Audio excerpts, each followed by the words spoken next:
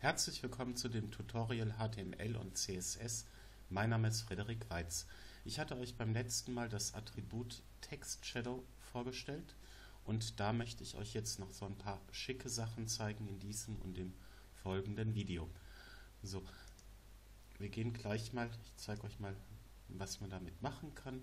Also einmal, das werden wir in diesem Video machen, Umrisslinien zu zeichnen mit dem Text Shadow und dann ähm, Im nächsten Video zeige ich euch, wie man solche 3D-Effekte erstellt. Und ähm, das zeige ich euch hier. Ähm, habe ich das äh, Shadow, diese ähm, Class für das H1, also für die Überschrift, die habe ich hier schon mal abgewandelt. Bisher hatten wir immer nur eine Zeile. Oder das letzte Mal habe ich euch gezeigt, wie man eine Zeile einprogrammiert und dann kommt das Semikolon. Wenn man hinter den vier Werten, die man für das, ähm, den Schattenwurf ähm, einfügt, äh, noch ein Komma setzt, dann kann man einen zweiten Schattenwurf ähm, einfügen und einen dritten und einen vierten. Und jetzt habe ich einfach den Schattenwurf einmal nach äh, rechts unten eingefügt, einmal nach rechts oben, einmal nach links unten und einmal nach links oben und dadurch ist sozusagen in alle vier Schrägrichtungen ist ein Schattenwurf eingefügt worden. Ich habe dem Ganzen keinen Blur gegeben, also keine Unschärfe und dadurch ist der so scharf geworden. So und ja, das sieht dann eben so aus. Es ist keine echte Umrisslinie, das seht ihr hier an den kleinen Lücken, die hier drin sind. Und da, ähm, das ist dann leider nicht anders zu haben. So, ihr könnt natürlich auch einen Blur einfügen, sagen wir mal von 2. Und das sähe dann zum Beispiel so aus. Also es ist eine ganz hübsche Sache, ähm, wenn man sich eben mit diesen Lücken anfreunden kann, die dann eben doch entstehen.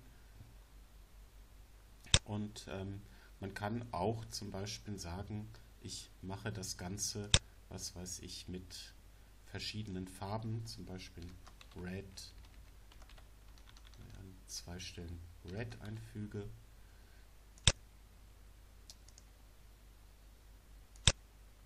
Das sähe dann zum Beispiel so aus.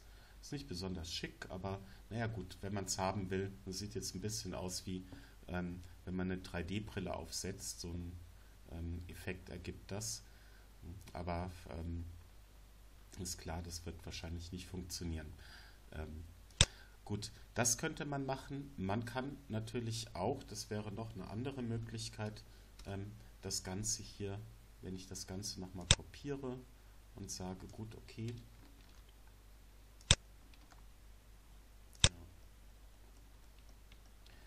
Ich möchte das noch ein bisschen mit ein bisschen mehr ähm, Schärfe machen. Könnte man noch mal einfach weitere Schatten einfügen. Man kann beliebig viele Schatten einfügen.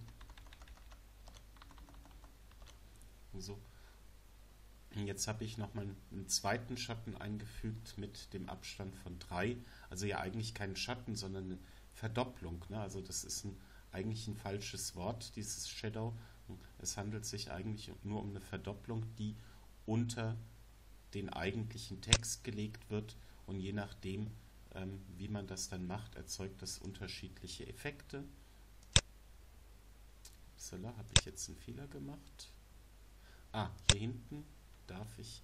Ne? Jetzt seht ihr, also der hat mir den ganzen Text, ähm, hat er mir weggemacht. Hm, klar, weil der ist noch da, also das, die weiße Schrift ist noch da, aber man sieht jetzt nichts mehr, weil die Umrisslinie weg ist. Und zwar einfach, weil ich hier dieses Komma ähm, mitgesetzt habe und das darf natürlich dort nicht sein. Dann ähm, verschwindet der ganze Effekt. Das ist ein bisschen ärgerlich bei der Fehlersuche, aber ähm, muss man eben drauf achten. So. Und jetzt seht ihr das, ne? also jetzt ist das Rot ähm, ist stärker geworden. So. Ähm, eine andere Sache, die ihr seht, ist, äh, das ist auch so ein ein bisschen ein Effekt, wo ihr darauf achten müsst. Ähm, das Rot, was nach unten zeigt, das wird nicht so ähm, deutlich angezeigt. Und zwar einfach deshalb, weil das von dem Grün ähm, überschrieben wird. Hm, so, der macht das halt eben nach und nach, dass er die ähm, Text oder diese ähm, unscharfen Schriften unter die Hauptschrift legt und ähm, dabei wird dann teilweise werden die Schatteneffekte wieder gelöscht. Hm, so ähm, muss man ein bisschen ausprobieren, bis man sozusagen den Effekt hat, den man wirklich haben möchte.